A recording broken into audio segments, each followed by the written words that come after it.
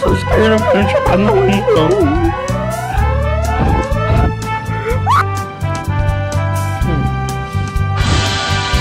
We, the people of the United States Union, establish justice, ensure domestic tranquility, provide for the common defense, promote the general welfare, and secure the blessings of liberty to ourselves and our posterity, do ordain and establish this Constitution of the United States of America.